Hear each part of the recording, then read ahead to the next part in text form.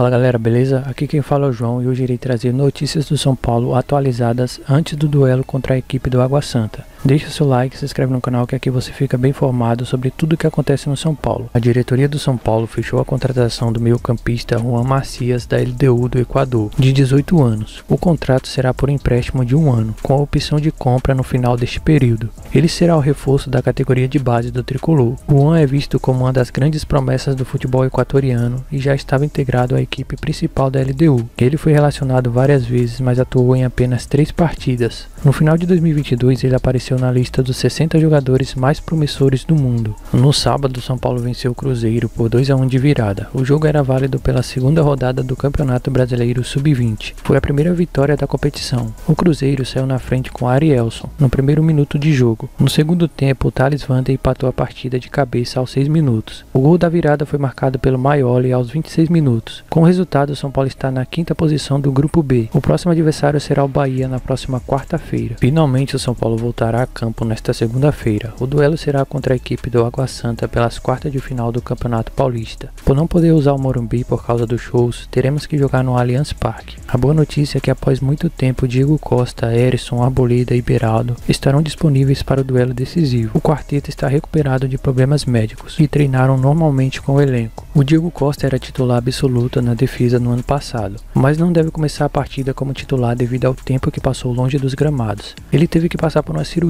para a retirada de um fragmento ósseo do joelho esquerdo, e isso o afastou por cinco meses. Já o Aboleda atuou em três partidas essa temporada. Está fora desde o dia 29 de janeiro devido a uma tendinite no joelho. Calheri, Igor Vinícius, Ferrarese, Rafinha, André Anderson, Moreira, Thales Costa não tiveram atualizações de seus quadros médicos e permanecem fazendo tratamento nos rifes. Com isso, Rogério Ceni deve mandar a campo esse time: Rafael, Orejuela, Arboleda, Alan Franco e Wellington, Luan, Rodrigo Nestor e Luciano. E no ataque, David, Wellington Rato e Galopo. Caso o Rogério Ceni faça alguma mudança, possivelmente ele colocaria o Mendes, Beraldo ou até o Erisson. No domingo, São Paulo fez o último treino no gramado do Allianz para fazer um reconhecimento do campo. Foram vendidos mais de 34 mil lugares antecipadamente. A nossa torcida só não irá bater o recorde de torcedores no estádio deles, porque diminuíram a carga de ingressos Durante o treino, Rogério Ceni fez com que os jogadores treinassem bastante cobrança de pênaltis, bola parada e ataque contra a defesa. Então é isso aí, galera. Deixa seu like, deixa seu palpite aqui nos comentários e não esquece de se inscrever no canal. Tamo junto, até a próxima, falou!